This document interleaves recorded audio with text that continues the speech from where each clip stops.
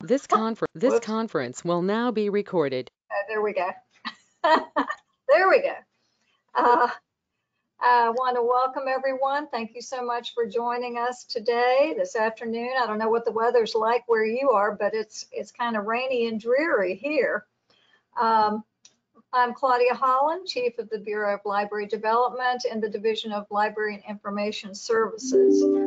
I'm really happy to have y'all on the call today. This is kind of a, uh, we've been trying to take cues on what we want to talk about from different um, people who are asking questions, both on listservs and talking to us about things that they're interested in learning more about or just want to share with people what they're thinking about. So today is one of those situations where we had people who were interested in learning more about lockers and not having that much um, experience or uh, knowledge about lockers. I did a little bit of reading and reached out to some people who know, know a lot more about it than I do.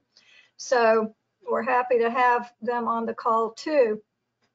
Library lockers are not really real completely new, but um, they've been around, I think, since about 2014, 2015 at libraries, um, you know, with specialty uh, vendors creating products to sell, um, and also people being sort of, you know, um, innovative and using lockers that are already existing, I guess you would say.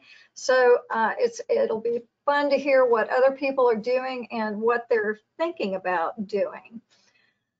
I think that lockers in particular have become probably more prevalent as uh, you know we we went through last year with COVID and uh, what you know how are we going to serve our communities and keep our staff safe and keep materials you know uh, quarantined and so on. So this is one area that I think some people have really explored and other people may, you know, just be waiting to see what others are doing.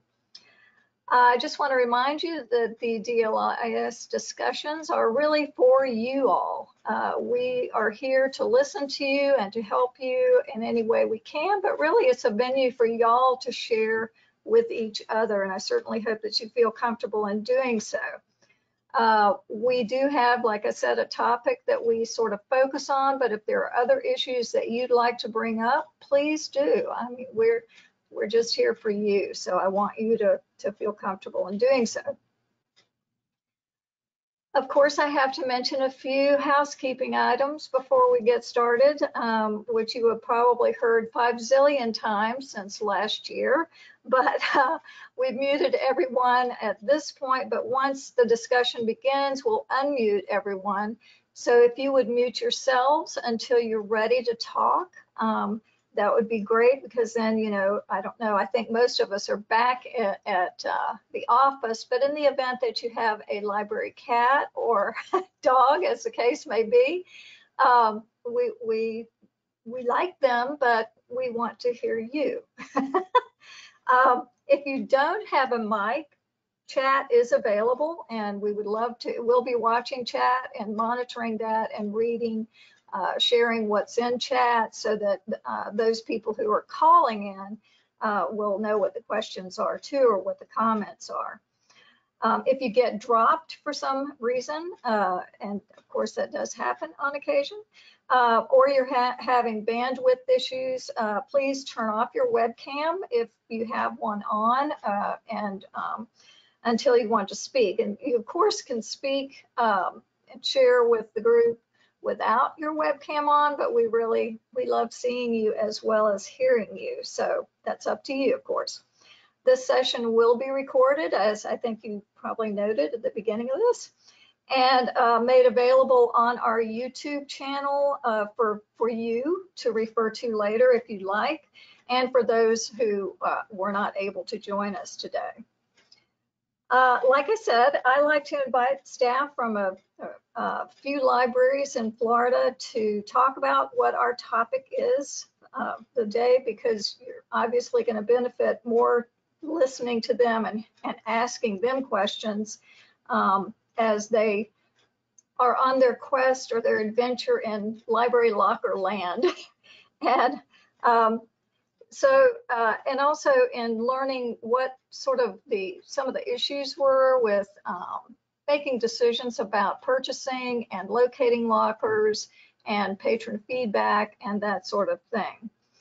Uh, so today it gives me great pleasure to introduce Andy Figert with New Port Richey Public Library and Tina Peak from Lake Wales Public Library to talk about their experiences. Uh, and I really, we want to hear from you all. If you have questions, please don't hesitate to just, just jump right in. Um, so we'll get started. I think what I would like to ask first of all is what made you decide to to look into lockers, to buy lockers, um, to offer them either at your library or somewhere else in your community? Either one of you can just jump right in. I, I, I would not be telling the truth if I didn't say COVID and the closure we had started my investigation of them. Um, we were closed from March until November, and by that time it became pretty evident that people who were taking advantage of doorside service intended to, to continue it. Um, they did not, even when we opened, they expressed that at that point there was no vaccine and people were still frightened. So um, but I actually did the research and went to City Commission with the request to purchase in July of 2020. We have library impact fees in Lake Wales, so I was able to make the case that it did qualify for library impact fee purchase. Mhm. And, um, you know, went out for three bids and the manufacturing, Andy, I don't know if you found this, it's, it's quite a lengthy period of time from the time you say, here's the first half of the check until you actually, they're manufactured and custom made for you. So that was, that was what, but we also have a um, satellite fire station in the north area of our community that is very fast, that area is very fast growing. And I'd already been investigating some possibilities for self-service out there before, prior to um, pandemic. So Uh-huh, it's a good tip. interesting. Yeah. Andy? I would just echo what Tina mentioned that we initially did this as a reaction to the pandemic because our goal is to give access of library resources to people. And so we thought, well, how can we do this in a way that also does not endanger them? How can we increase access but not endanger our community members? So um, we did some creative thinking with the funding that was available, and this is uh, our answer to to those challenges. Wonderful. So it sounds to me like y'all had a common purpose, obviously, but uh, perhaps different funding sources or funds available to you to pursue what you were trying to do, which was to continue to be connected to your library or to your community with the resources that you're offering them. So that that's very interesting. So what vendors or where did you look and how did you get started on, you know, I mean, obviously cost is a factor. Um, maybe turnaround was a factor. I, I, I don't know. What, what, what was, what were the big factors for you both? Well, I can mention that with our funding, we had uh, we had already put into our budget to purchase some lockers, but they were for staff to replace some old dented awful lockers that have been used for I think up uh, upwards of 30 years. Oh, wow. Staff needed some new lockers and then COVID happened um, and and we thought well you know, staff, uh, many of our staff are at home. So what can we use instead that we have on hand to truly make this happen? And actually we hadn't ordered the lockers yet, but we ordered them from Home Depot for Uh-huh. $1,075. $55 for shipping and they delivered it with a semi truck that parked uh, on Main Street. They delivered a big pallet, pushed it into the library and we unwrapped it and um, and just went from there. And I did send Casey a picture It's of, of the uh, of the lockers. Um, and then we, you know, labeled them and we ordered some locks to put on them. And I'll just say that the locks were, I've got the name of them here, uh, long shackle combination padlocks from mfssupply.com. So we ordered 18 locks for Uh-huh. 49 each. And the great thing about these locks is that you can set the combination of them. So we set, every time they would be used, we would set them to uh, the last four digits of the library member's library account um, so that it was just a secondary way that we could ensure that the right user is actually accessing those materials. So that worked out pretty nicely with that. Casey, do you want to pull those, would you mind pulling those uh, images up that, that uh, Andy shared with us?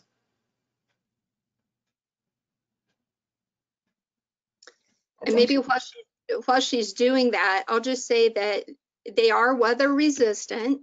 Uh-huh, Uh, they are very sturdy.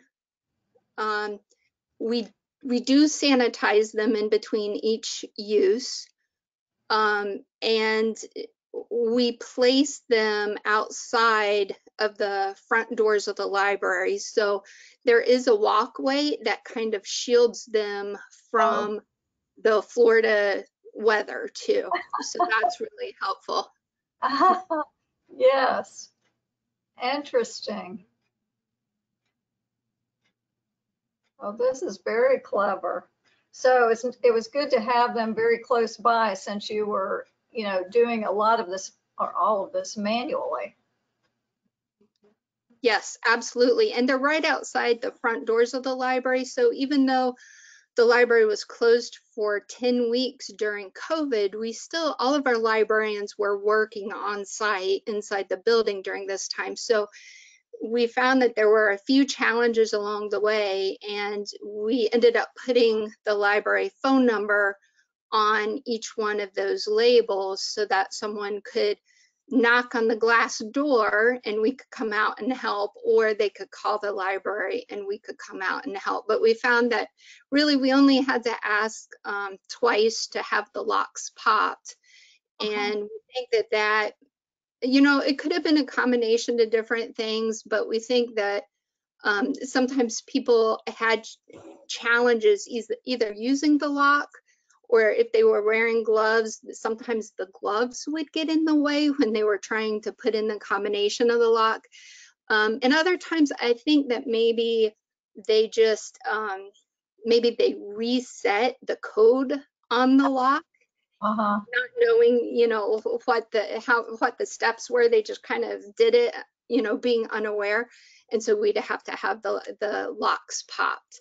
But we found that during this time that when people would take out their materials, many times they would return them the same way. So that was kind of, um, that was unexpected, but it, it was wonderful too. It worked out fine. interesting. Wow, okay, thank you. Tina, what was your experience? Well, we, we took a little different spin. We, I actually got quotes from two um, library-specific vendors, um, and then one vendor that wasn't library-specific, but they had said they had experience with libraries. So ours are actually connected to our ILS, and we went with um, International Library Services, which used to be Pick Inc., I believe is what it used to be. And I got a quote also from um, Envisionware. And then the third quote was again from a non-library vendor. Um, our system is, is again tied to our ILS system and we have a, um, a pickup location. I'm in a library cooperative. I'm in the Polk County Library Cooperative. So we're all independent public, municipal public libraries who have a cooperative agreement. So in, we use SirsiDynix, and in that system, you know, as many of you are aware of, you can ch- um, check your, you can choose a, a pickup location. Um, and so we added a location called Lake Wales Lockers. And just like when you receive transits in, when we scan in something, we'll get a transit slip to Lake Wales Lockers. And um, it it's notifies the patron, I, whatever their choice of notification is, whether it's text, email, voicemail, that they have an item in the locker. The lockers don't have numbers and they don't have locks on the outside. So the patron comes to the front of the lockers and um, either manually enters their library card number in or there is a barcode scanner they can scan. And once the um, locker is identified, if the door pops open automatically, and when the door pops open, it's a self checkout um, it, at that point with this system.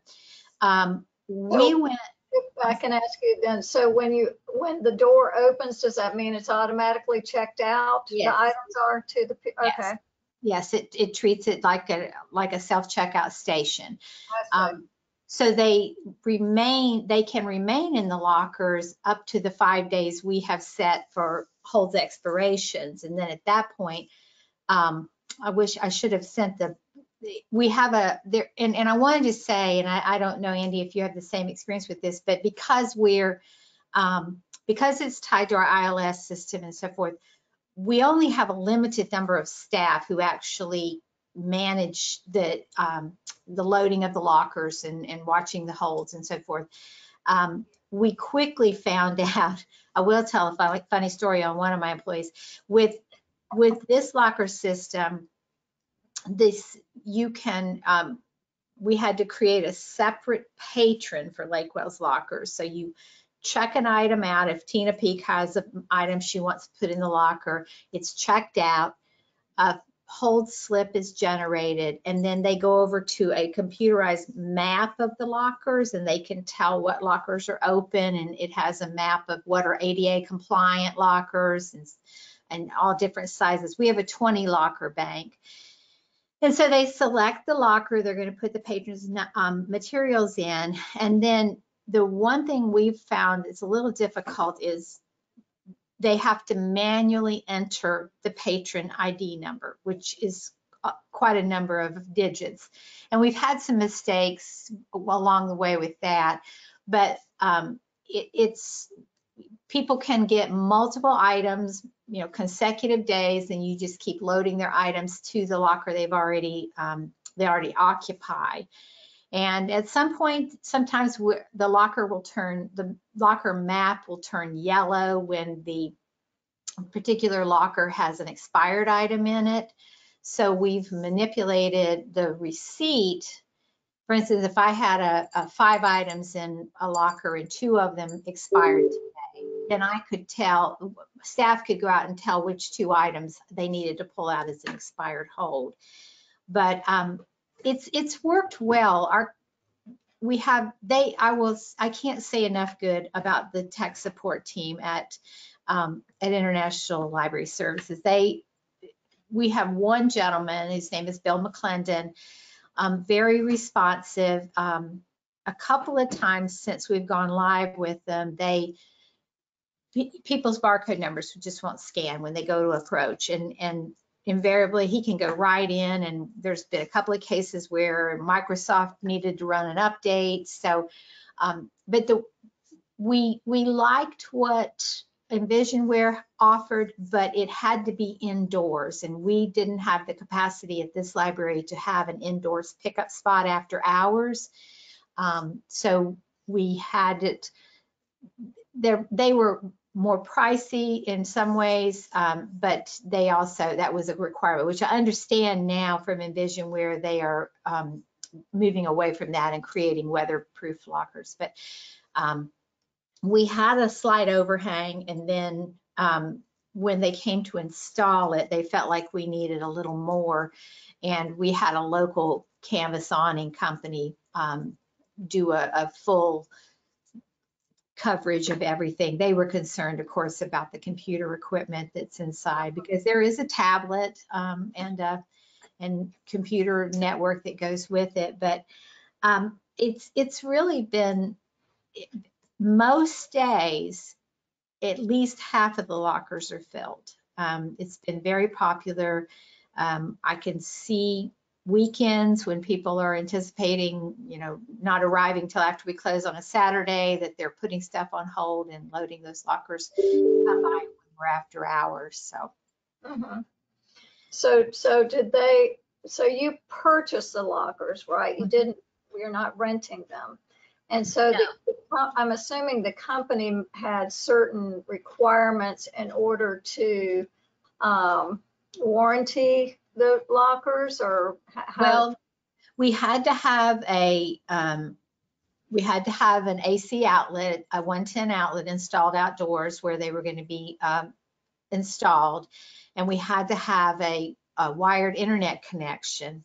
It also required a SIP license for the, from their end, which luckily Polk County Library Cooperative had handled for us through SirsiDynix.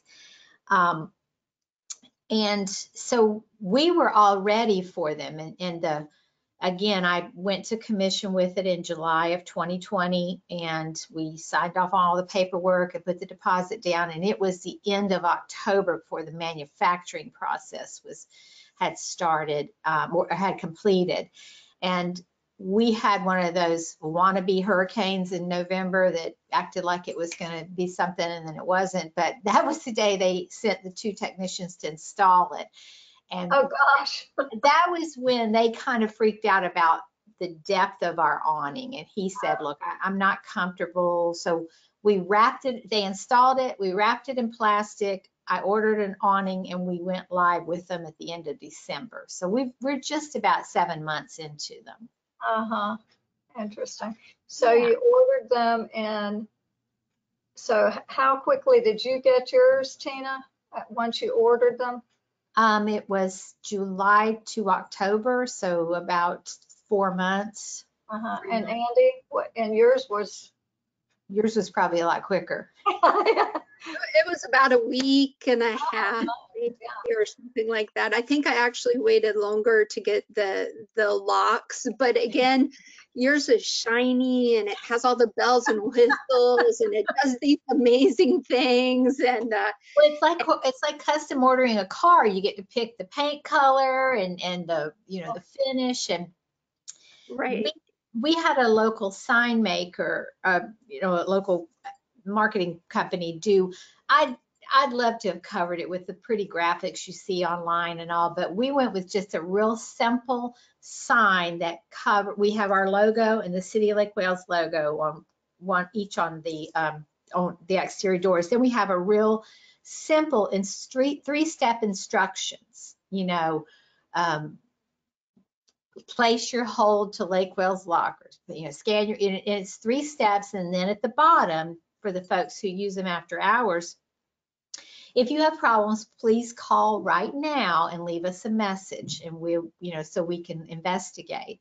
And we've not really had any issues. I, I will say, and I don't know if you agree, Andy, this experience has um, I'm ready to move forward with a non-staffed library in this north corridor, really. I think we could do um, a, a, a drop-off, a, a locker system, and probably some kind of vending machine system where we could have a limited number of items out there and um, it could be open 24/7. We have a security camera over the front door, and that's where they're located. So that was, um, and they also, this system has its own security camera. Wow. It comes with a, a little eye so it can see you, but yeah. So Andy, did y'all have, do you have, you probably have something over your front door as well? We do. We are we're adjacent to City Hall, and so although the library does not have any video cameras attached to that, the City Hall building does. And so one of those cameras does in fact, um, it, it, you can watch the the lockers from that vantage point and the city hall cameras do directly feed into PD. But um, when we first unveiled this and we were kind of beta testing it to see, you know, what to expect, is this going to work? Um, there was, there's been absolutely no vandalism. No one has tried to get into the that the locks. Uh, we we really have not had any issues whatsoever. And so when we initially started, we were only using the lockers when the library was actually open because we wanted, you know, baby steps. We'll see how this initial step goes and then we'll we'll open it up and and so now we use the lockers on the weekends. It's mm-hmm. 24 7. Now usage has gone down slightly. So when during COVID, when the, when the library was completely closed for those 10 weeks, um, our usage was about double than what it is now. So instead of having 20 people a day use the lockers as we had last April, for example, now we have about eight to 10 people a day using it on average. I will say that we we we reopened um, to the public on November 2nd, and we continue. But obviously, we didn't have the lockers at that point. We continued to offer doorside just because people were still nervous about coming in. But at some point last spring, after the lockers were up and rolling, I had to say to staff, as of April 1, we're not going to do that black card outside the front door. You know, we're just going to say your option is to use the lockers if you're not comfortable coming in. And one thing I'm not, we can't do, which you probably can, Andy, is if, um, because it's tied to our ILS system to open it and to, for the patron to be able to open it, we can't, for instance, leave faxes in a locker for people to pick up or copies or printing. It's it's got to be a barcoded item and Hmm. that you know it's uh, I, I I'm sure there would probably be a way we could force it by creating a patron type or something that we could utilize it with. But so far we haven't been asked to do that. Mhm, mhm. Interesting. So it's been, been mainly print or, or media or whatever. That's all it is, is just circulating library materials at this Mhm. point. Yeah. Interesting. So, go ahead, please. Uh, Well, we kind of discovered quickly too, um, that with, we have four people at the front desk and, or three to four, depending on what day of the week it is.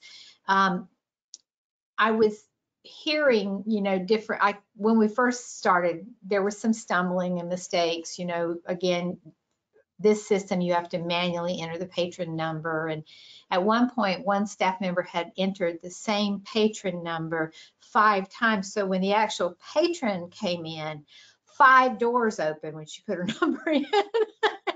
so at that point, I said, you know, this was a huge investment. So we got to get a game plan together on how we, because I didn't want people to become frustrated and um, say, oh, this thing isn't worth even fooling with. But um, it, so we have kind of a, even though it's a paper trail, it's, it allows us to say, you know, I loaded a locker for myself on Tuesday and there were more materials that came in with me on Wednesday, so we can go back on this paper trail and confirm that.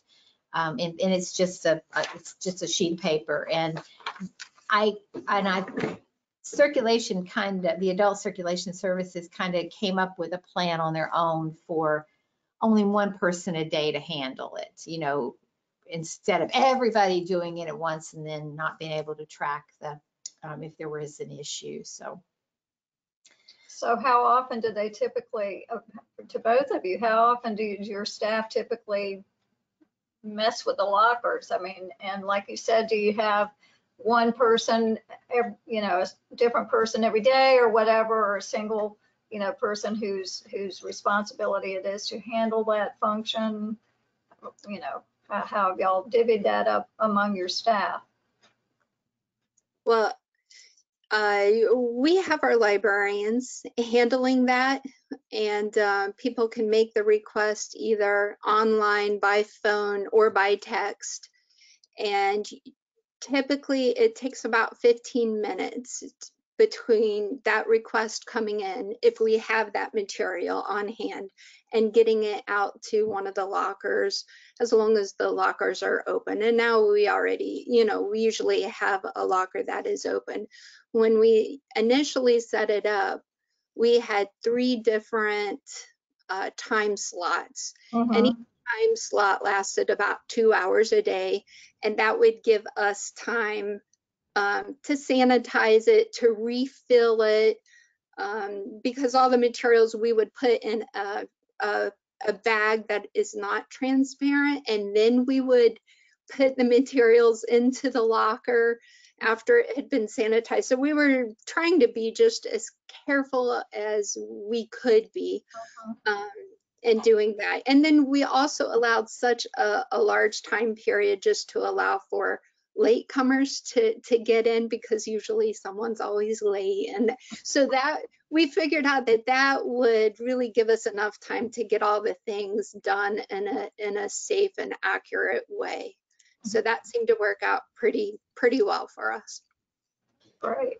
Well, because ours is, is part of our ILS system, we, when they do the pulls list first thing in the morning, and then the two o'clock pulls list is, is about the only times we really load those lockers, unless an item comes, well, and I think even in the case of if somebody returns something that's now on hold for a locker, they basically just hang on to it until, um, probably the two o'clock run would be what we do. So we do it based on when our pulls list is done.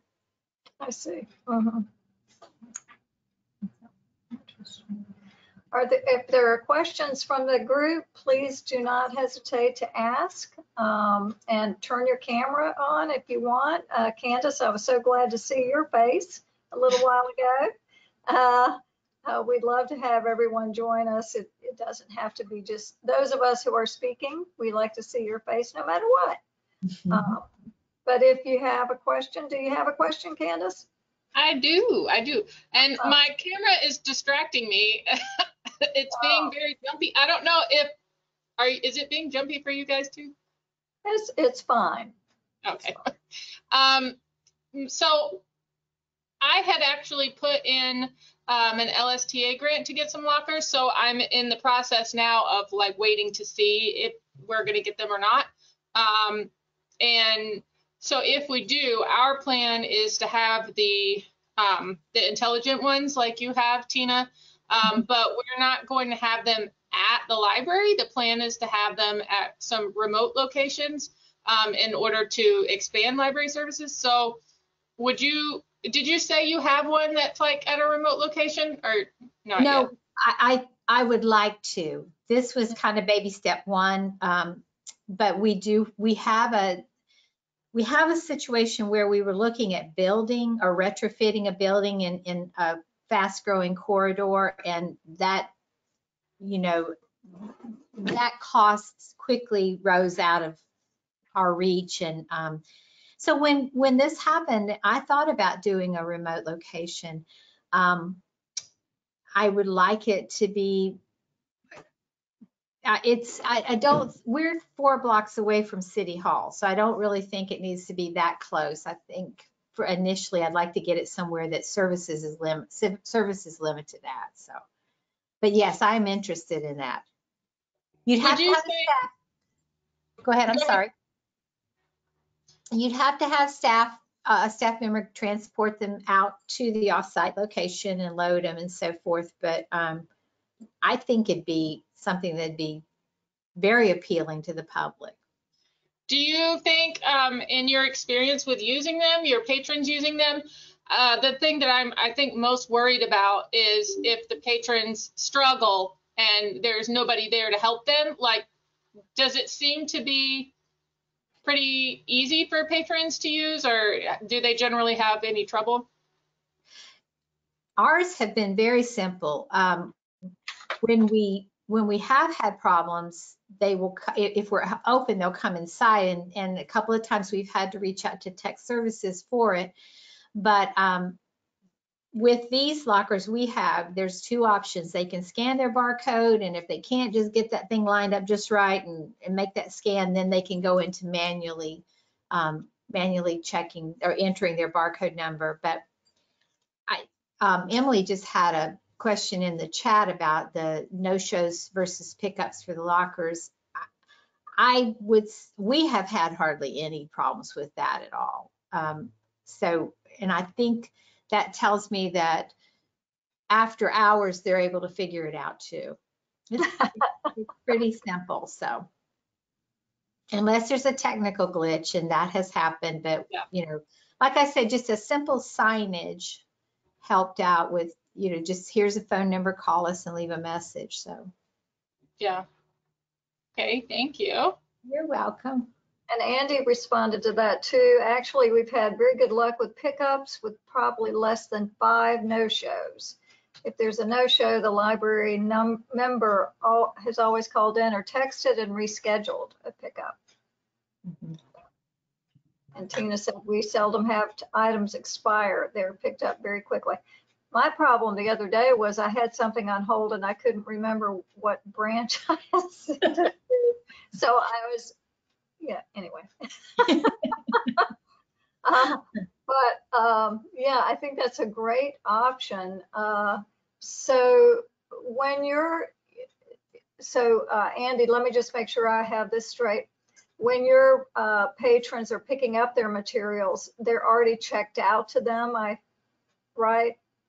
Yes, Yeah, staff have already checked them out to the library members. So the really, the only thing they have to do at that point is just open up the lock, reach in, grab the bag and take it home. uh-huh, that's good, yeah. So Candace, where are you thinking about putting, uh, your lockers? Uh, the Narcoossee area and uh, Reunion area.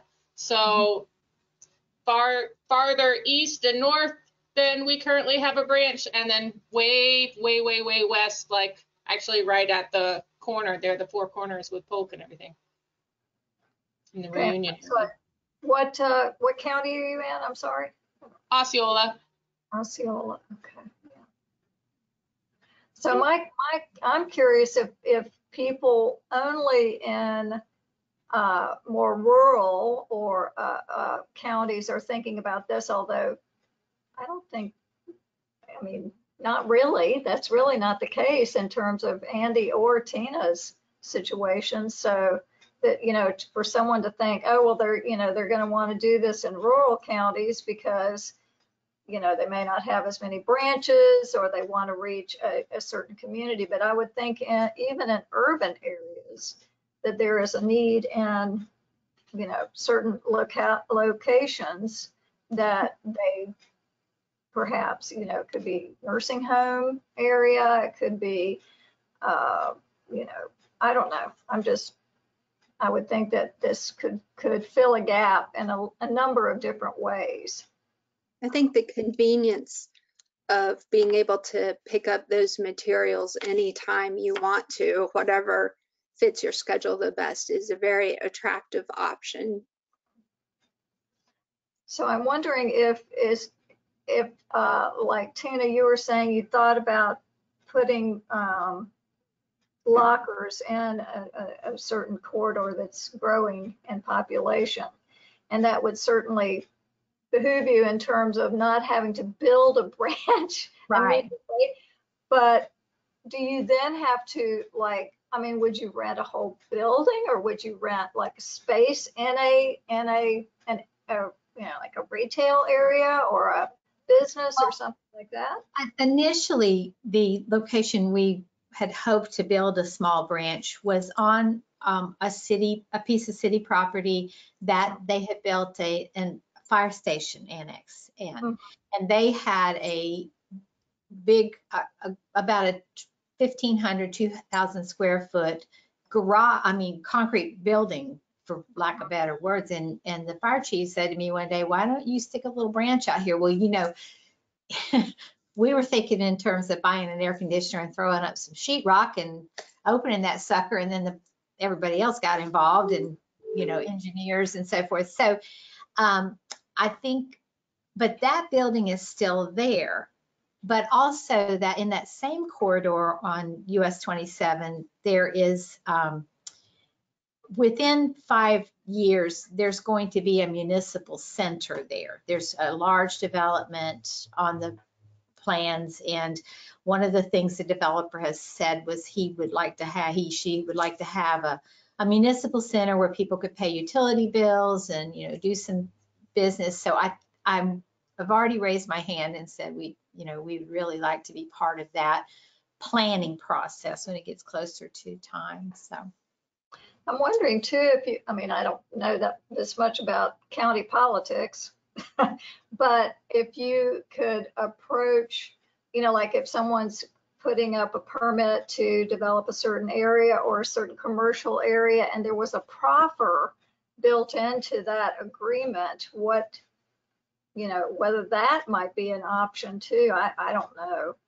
Uh, you know, something that, that um, we sort of put on the, the people who want to expand a neighborhood or, you know, maybe they're building a multi-use building where you've got commercial on the bottom floor and, and, um, you know, condos or uh, uh, apartments above, something like that.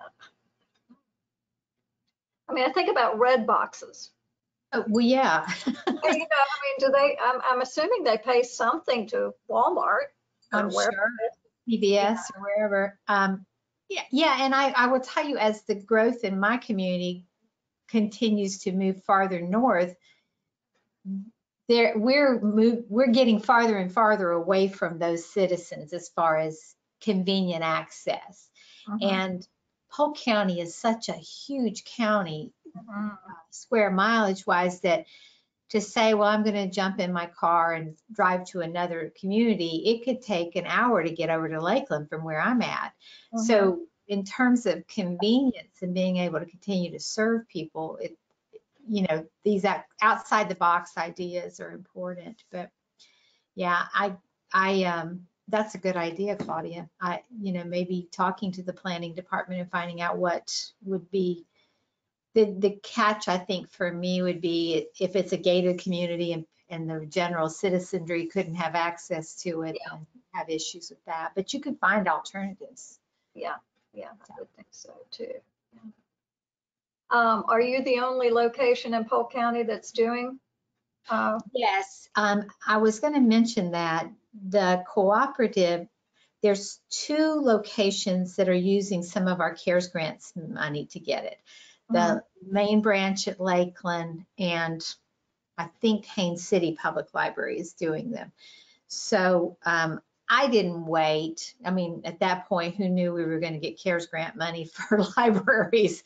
Um, so I, we went ahead and moved forward with it. The, the Lakeland Public Library's main branch is currently closed for a year Oh my, with, with limited access. The children's room is open, but they're having all new ductwork put in and so forth. So if it gets installed um, prior to their reopening, it'll be a real boom for them to be able to serve like that. So I mean, even if they reloc- relocated the lockers after they used them in their location or something like that, you know, that's another option too.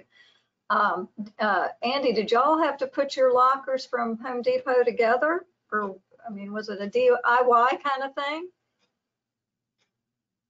Uh, Actually, no, they arrived already put together. They were, uh, uh, they came in on a pallet, just as you saw them in the one picture. And they had been wrapped in, you know, like the giant saran wrap. And uh, so we just basically had to get them off the pallet and unwrap them and put the lockers on them and come up with a little label, a weather resistant label for each one. So it was pretty much plug and play, which helped us start almost immediately after Yeah. after they arrived. So yeah, that's, that's a lot different than I assume it was for you, Tina, since, since you said you had to take all these other considerations into account and it was tied into your ILS too. Uh, Did the software have any bugs at all that had to be worked out or? You're, you're muted, I'm sorry. Uh, You're muted. I am, yeah, I'm sorry. Um, That's okay. no, As far as the, um, th- this company has had past experience with working with SirsiDynix, so they, it was, it, I had everything ready from my end. Our facilities department entered, you know, set up the exterior plug and the IT department had everything lined up, ready to go. So really, had it not been for their concerns over the weather, um, we probably could have gone live the day after they installed them. But Yeah. there was a time frame that we had to wait to get the new awning put on. But I'm glad we did that. So it- it's a little more secure and safe. So, Did you all have to actually physically connect them to the cement, to the, you know, to the pad or to the sidewalk or whatever you want to call it? I think mine are. Uh-huh. I, I'm pretty sure they are. They sent um, an installation guy who travels all over the southeast. He was from Texas and he put it together, put them together and the, then the um, technician was here too and got everything connected and trained my staff that same day. Mhm. Yeah, they provided the training on how to use the mapping and so forth. Andy, what y'all do? Yeah, in our uh, our low tech version here, it took about uh, 20 minutes. Uh, we had the public works crew come out, and they're actually quite heavy. So Yeah. um, they may be plastic, but they are very sturdy and um, you would have to literally hang, you'd have to have two people hang on the top to actually have them topple over. Uh-huh. Because I tried it. I was concerned about that, uh, Yeah. especially going outside. But just to be on the safe side, uh, Public Works did put two very long screws in at different locations on the inside when you open up the the lockers and they screwed them into um, some of the brick on the outside and the concrete on the outside of the building. Just We-. Ours, ours did too. We, we had, they put three by threes up and, and actually mounted them into the front of the building. I will tell you that, you know, we're in Florida where it's damp and nasty sometimes. We have recently had a, a wasp nest in one. Oh, dear. And, and luckily staff found it, putting it in, you know, as they were loading it, it was just the beginning of one, but I guess that's something you have to consider is, you know, buggies and stuff getting into them since they're outdoors. Uh-huh. Huh.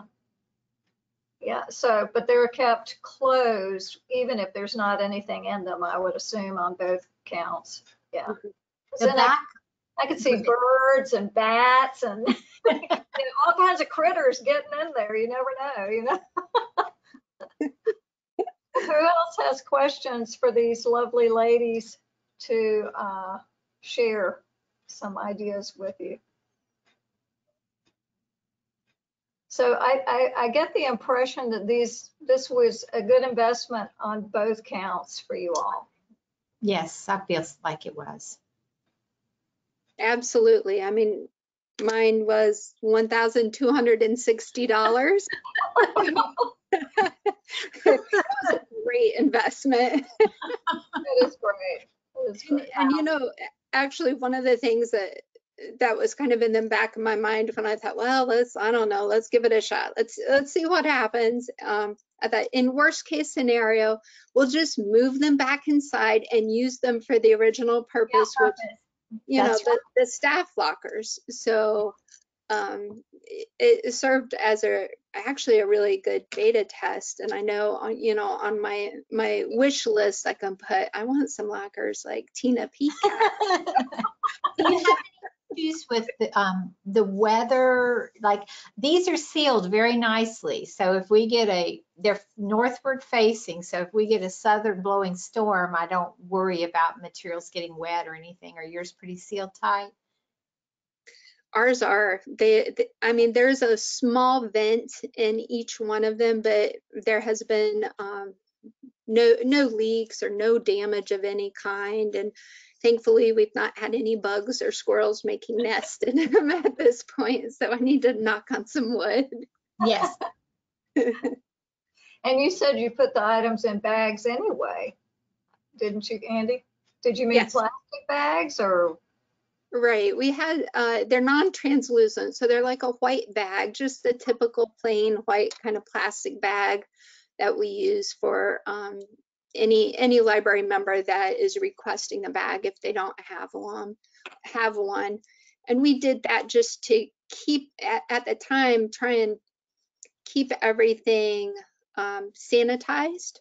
Mm-hmm. So, and this was right when COVID happened. So before we would uh, place the materials out there, we had quarantined the items and, you know, staff handling items for members were using gloves and we were all wearing masks. So we were doing whatever we could to make sure that those materials, once we put them in a bag and took them outside and sanitized the inside of that that locker that it was all good. Now things have changed quite a bit since then, but um, th- that's where the bag came in use. But I think it also kind of helped with privacy, any privacy concerns that we might have been thinking about in the back of our minds. Like we don't really, you know, we want to preserve our library members' privacy and their right to read or or listen to uh, whatever they they want to borrow. So that was helpful in that way too. I will tell you, funny story. Oh, Sorry. my, that's okay. Um, initially, we have a lot deeper overhang right at our front door, um, a much deeper porch than where we ended up mounting it. And the reason was they were ordered, measured, ready to go, and the fire chief and the fire marshal popped in one day and fire chief said to the fire marshal, points to that area and there was an overhang and he said, this is where Tina's lockers are going. And she said, no, because we have automatic doors that are pop out when there's an emergency. And she said, if you put those lockers that are 24, you won't be able to use that emergency door. So I was glad that she caught it and we were able to shift gears and just turn the corner there and, and put them around the corner, but it was less weatherproof there. That's why we had to add that second uh, overhang for it. but, Yeah. Mm. And So we have, we have a a wall mounted um, wipe dispenser by ours too, that's for hand wipes. So if people feel like they don't, you know, they want to wipe their hands off or whatever, they can do that. It's like one that you would find in the gym. Emily did share something too. Um, Okaloosa County has a vending machine located in one of their most far-flung communities, extremely rural, she said. And conversely, Miami-Dade has a kiosk in one of the metro stations where there's lots of commuter traffic. So that sort of, uh, you know, goes to show you what people need and, and, and where they need that material. Now, I would assume that once, if you decided to move uh, or to explore putting something up in a, in a more remote area, then of course you have to build in who's going to be, you know, fulfilling that, who's going to be filling those lockers, um, you know, what kind of insurance you might have to have for that person, or, I don't know. I'm just thinking about those kinds of things. Um, I just don't know. Anybody have anything that they would like to ask?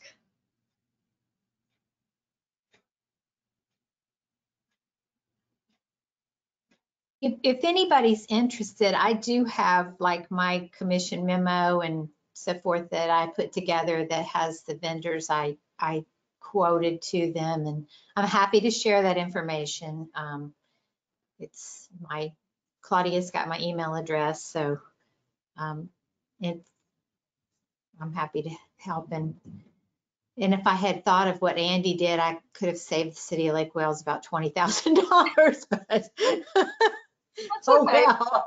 totally different, so. um, That's always been my luck with investments. Buy high, sell low, so. no. Uh, And I just want to mention too, that don't forget that we are going to have ARPA monies, uh, the American Rescue Plan Act monies uh, for our, for grants available, we hope, um, in early to mid-July. Uh, And this is a project, these are projects that, you know, are certainly worth putting forward to, uh, as an application to the ARPA, uh, to the grants folks. Um, And, uh, uh, you know, I encourage you to think about those kinds of things and anything else that would apply to the monies that are going to be available. Um, It's a little bit different from the uh, CARES Act money that was available. um, But still, you know, same sorts of things, you know, reaching your community, um, addressing health issues and so on. I can't remember everything that was in the description, but that, all that information will be pushed out to everyone just as soon as it is um, ready. Anybody have anything else?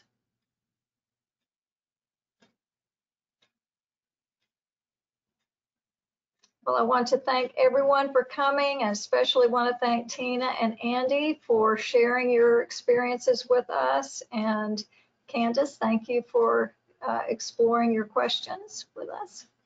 Um, just want to remind you that we will be having a recording placed in our BLD uh, YouTube channel. So, and that would probably be in the next day or so, or maybe even today, probably tomorrow. Um, if you have a topic that you'd like to discuss, please share it with me or with uh, any any other uh, BLD uh, staff member. We'd love to hear your ideas. Um, and our next DLIS discussion is on July 19th at 3 o'clock Eastern Time. Um, and uh, we'll be sharing what that topic will be in our BLD newsletter, Building Success. So, and also sharing it on social media. Um, oh, and Emily would like me to please remind uh, the municipal directors who may be on the call that which she is going to be hosting a call for these folks next week. Um, Tina shared that the International Library Services is the group that uh, they purchased the lockers from, but they also worked with Envisionware. Um, but they required indoor installation.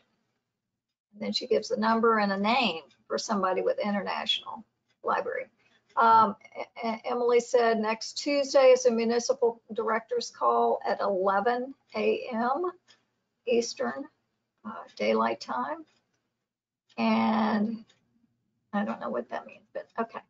Anyway, it's great to see all of you and I hope to see you again next month. And eventually we will all be able to see each other. We will be able to travel and things will be maybe not normal, but very close. So y'all stay healthy, stay safe, and thank you so much. Take care.